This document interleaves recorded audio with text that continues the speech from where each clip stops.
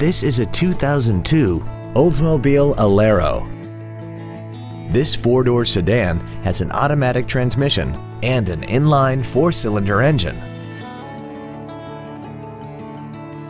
Features include air conditioning, a split folding rear seat, cruise control, a CD player, a leather-wrapped steering wheel, a rear window defroster, front fog lights, traction control, a keyless entry system, and a power driver seat.